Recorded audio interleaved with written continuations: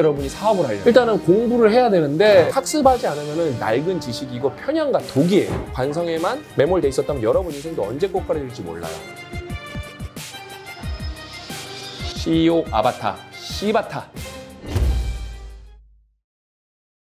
졸꾸러기 여러분 안녕하십니까 신박사 TV 신박사입니다. 오늘도 여러분을 위한 CEO 아바타 시바타 강연 오늘 6강인가 6강? 6강이죠. 아 6강. 예.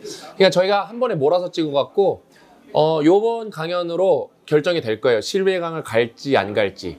그래서 여러분이 요번에 좋아요가 1000개가 넘기면은 좋아요가 제가 1000개가 넘어가면은 어 11강 찍고 그 다음에 만약에 안 넘어가면 그냥 아 시, 시바타는 아 그냥 뭐 같은 강의였다 그러면서 그냥 안 찍고 우리끼리만 앞으로 얘기하는 걸로 여러분 근데 요번 거 끝나면은 이제 제 후배면서 지금 이화여대 이제 교수로 임용을 한 최동원 교수한테 제가 말을 해놨어요 좀 이제 비즈니스 논문 좀 보자 우리나라에서 그렇게 해주는 데가 단 한 군데도 없다 논문 위주로 보자 그래갖고 우리 직원들도 보게 논문 위주 만약에 계속 이제 연장이 되면 논문 위주나 제가 좀 더 다른 분들 섭외해서 좀 되게 또 고퀄로 더 올라갈 것 같아요. 아무튼 따봉 천 개입니다. 천 개. 천개 가 신박스 TV 잘안 넘는데 천 개가 있으면 이제 의사표 왜냐면 샤이한 분들이 아 꼭 찍어주세요 이런 거 못 하더라고요. 그러니까 샤이한 분들을 위해서는 따봉. 여러분 유튜브 따봉은 우리가 그 기록이 전혀 안 남아요. 그 어떤 것도 안 남습니다. 뭔지 몰라요 우리는 누군지도 모르고 유튜브가 되게 좋은 게 여러분이 시- 좋아요 누르면 우리한테 누가 눌렀습니다 뜨는데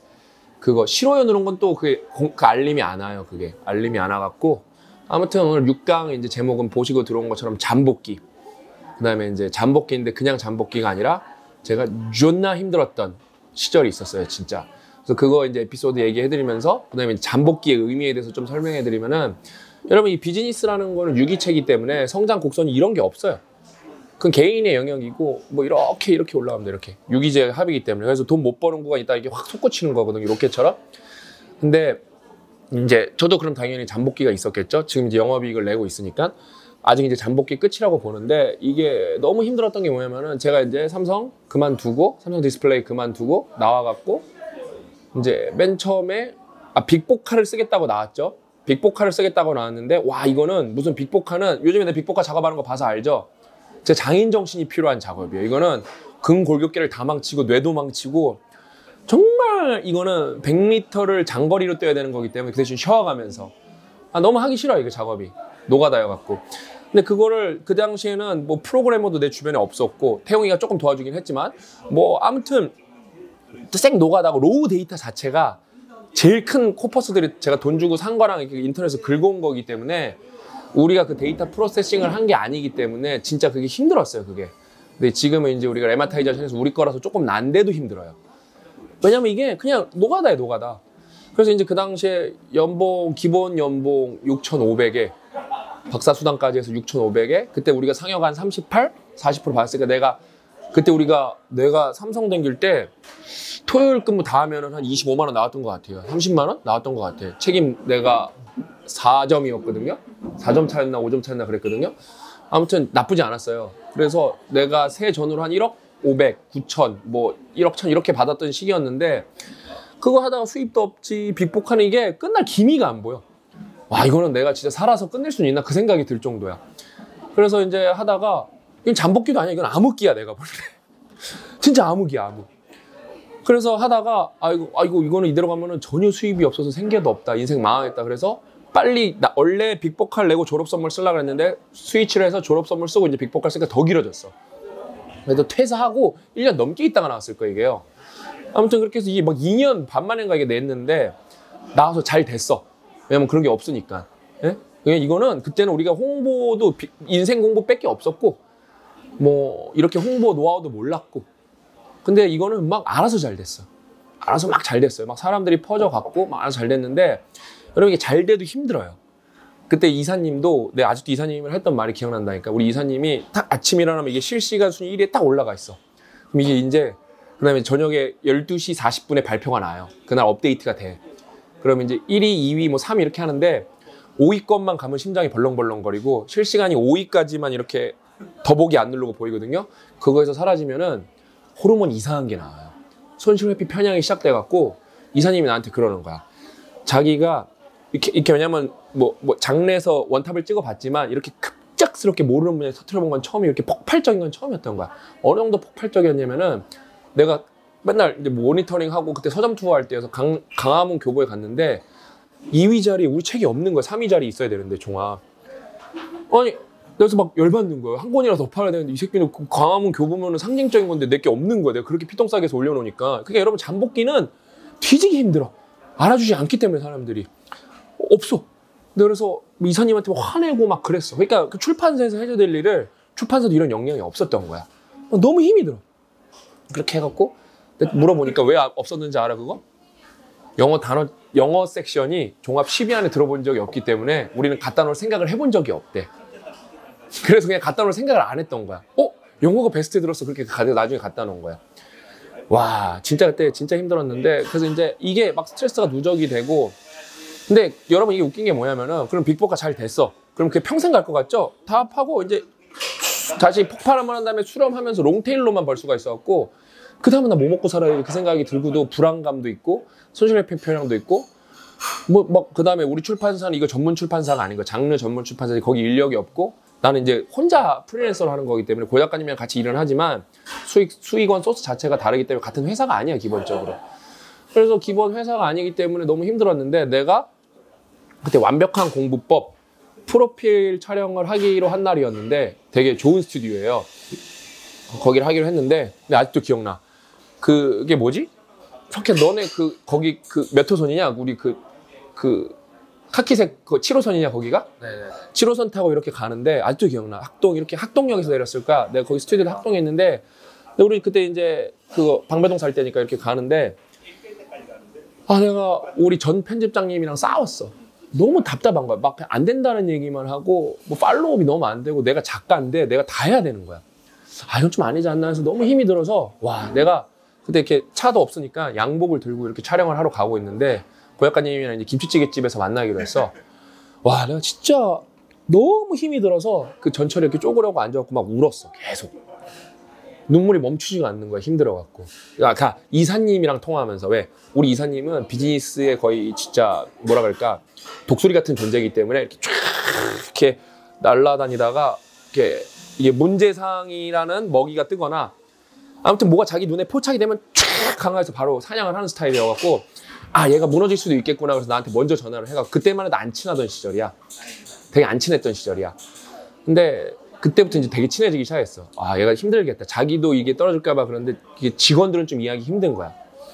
근데 아무튼 너무 힘들어갖고 내가 막 눈물이 너무 나갖고 진짜 눈이 그 충혈이 돼갖고 너무 울어갖고 고약가님 만나는데 눈이 새빨개진 거야. 새빨개졌고 그 다음에 고약가님이랑 오모가리 김치찌개를 먹나? 그러 먹는데 아 내가 형 전철에서 울었다 그러니까 그러면서 갑자기 또 김치찌개를 먹으면서 눈물이 막 나는 거야 이게.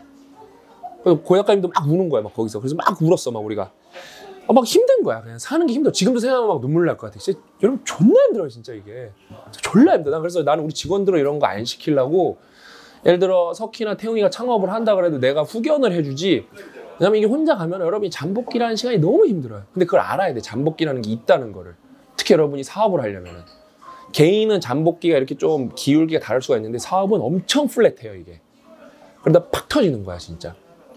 너무 힘이 들어갖고 와, 내 이렇게 살 수 있나? 이렇게 살 수 있나? 그러면서 조금 조금씩 잠복기를 그래도 나는 고 작가님이라는 좋은 파트너가 있어서 우리가 성장하고 있다는 건 알았어. 어? 그러면서 이제 웅구도 만나고 팀장님도 만나고 태웅이랑 석희랑 이제 더비도 만나고 올해는 이제 영업이익을 안 내는 데가 없죠. 아주 다 전성기죠. 최고 전성기고 더비는 이제 B2B만 하다가 이제 B2C를 올해 처음으로 할 거기 때문에 B2C랑 그러니까 B2B가 대문자면은 small large B to small b. 그러니까 우리가 그냥 엄청 거대한 기업만 하다가 이제 아주 small group 비즈니스도 할 거기 때문에 이제 올해는 이제 더욱 기대가 돼요. 이제 폭발을 할 거라고 봐요. 그래서 아무튼 이게 여러분 이 잠복기가 너무 힘들어. 이거를 근데 다 되게 장밋빛만 바라보고 그러니까 이게 이게 뭐냐면은 요렇게 올라가고 요렇게 되잖아. 이렇게 직선이 이렇게 있잖아. 그러면 여러분 그 내 말 뭔 말인지 알죠? 요렇게 하면 여기 여기 이렇게 곡선이 이게 빈 공간만큼 힘든 거야. 왜 내 내 생각은 나는 졸라 열심히 해서 이렇게 올리고 싶은데 그렇게 안 올라가거든. 이 빈 공간만큼 수익도 없고 적자라는 거야. 그만큼 인생에서. 근데 이게 사업이라는 게 왜가 재밌냐면 넘어가면서 이게 뚫고 지나간다는 거야, 이게.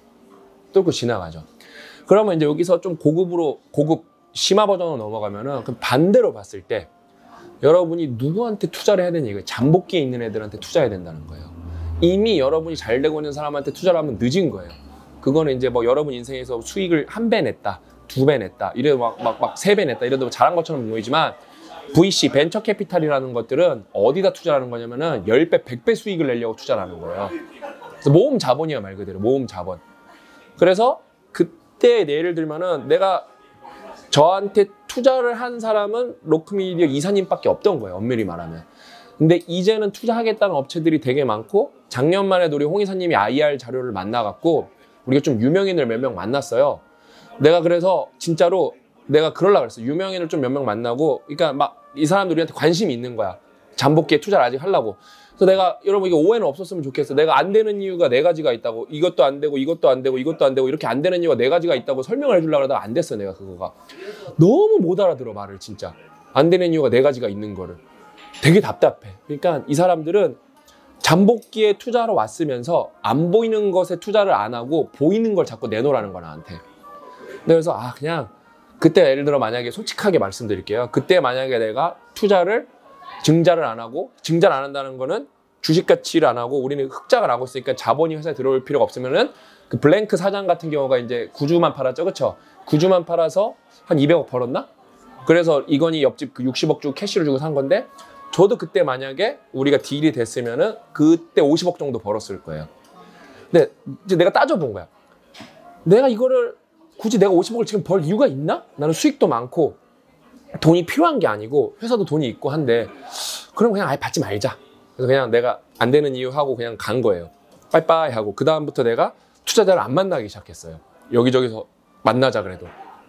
아무튼 여러분 이 잠복기라는 거는 나한테 힘든 시기이고 분명히 여러분이 넘어가야 되는 거고 여러분 누군가의 잠복기는 여러분에게 엄청난 기회예요. 근데 그게 슬픔과 어두움과 고난으로만 가득 차 있기 때문에 솔직히 가까이 다가가기가 싫어요. 뭐 마음으로만 위하는 거 이런 거 다 필요 없어요. 여러분 돈 베팅해야 관계가 형성. 특히 비즈니스는 돈 안 묻으면 끝이야. 그냥 말로만 뭐, 뭐 미래가 비전이 보인다 뭐 다 헛소리야 그냥. 무조건 지분으로 엮이고 투자하고 구매하고 상품 사고 이래야 비즈니스예요 여러분. 비즈니스에서 인간관계랑 조금 달라요. 돈이 무조건 왔다 갔다 해야 돼. 근데 제가 맨 처음에 두 번 기회가 있었어요 사실. 잠복기 더 초반에 기업 가치 50억을 잡아주고 투자하겠다는 사람이 있었는데 내 말을 너무 못 알아들어. 그럼 이제 그때 팔았으면 5억을 벌었겠죠? 10%만 잡고 파니까. 근데 그게 1년이 지나니까 이제 내가 500억을 제시를 해도 듣는 사람이 나온 거예요, 그게. 왜냐면은 내부 숫자를 보면 알거든요, 이거를. 트래픽이라든지 DAU, MAU 이런 거 보면은 홍 이사님은 뭐 전 회사에서 비교해 보면 알 거 아니에요, 우리 거랑. 어, 홍 이사님 이제 전 회사가 그래도 기업 가치 몇 억 받았죠? 천억 정도. 홍 이사님 거기 주주예요, 주주. 그래서 지금 코로나 때문에 가슴이 아파요, 그렇죠? 거기가 이제 콘서트로 수익을 내는 회사여 갖고 콘서트 다 취소됐죠, 그렇죠? 어, 연기, 연기. 그러니까 그 견- 기약 없는 연기여서 주주라서 가슴이 아파요. 왜냐면 다 지금 거기 잠복기에 투자해 놓은 건데 그 잠복기가 이렇게 점점 밑으로 갈 것 같아서 근데 저는 잘 될 거라고 또 응원하고 있습니다. 홍 이사님 거기서 돈 exit 해야 되기 때문에 잘 돼야 됩니다. 아무튼 그렇게 여러분 진짜 이 잠복기라는 게 정말 무조건 여러분이 잘 몰라 이거를. 특히 사업을 하겠다는 사람이 잠복기가 얼마나 될지 모르기 때문에 이걸 이겨낼 준비를 하고 들어가야 돼. 무조건. 무조건. 예? 체인지 그라운드도 요즘에 엄청나게 내부에서 구조 조정이나 업무 조정이 이루어지고 있거든요. 왜 그러냐? 잠복기가 끝나가는 거예요. 우리도 나름 직원의 잠복기에게 투자를 했는데 얻은 건 얻은 거고 이제 손절할 건 손절해야 되는 거예요. 여러분 비즈니스는 100% 하는 게 없어요. VC는 어떻게 뭐냐? 피터 티엘 Zero to One 보면은 딱 한 단어예요. 한 방에 끝낸다예요. 그러니까 100배 벌 거를 벌고 찾아내서 내가 99개는 날린다는 거예요. 요거 해갖고 그러니까 아니, 그렇게 하면 못 버니까 10개에서 9개는 실패하고 1개는 성공하는데 이게 100배 수익을 내갖고 90배 수익을 내는 거예요 결국에는 쉽게 말하면은 그러니까 여러분 이 잠복기라는 거를 이, 이 단어 자체가 뭔지 모르고 예? 그냥, 여- 그냥 야, 그 육아 같은 것도 다이 인생의 잠복기 그 다음에 인간이 여러분 그게 그, 그 양육 시간이 모든 포유류에 비해서 압도적으로 긴 이유가 그 시간 동안 뇌를 발달시키는 거예요.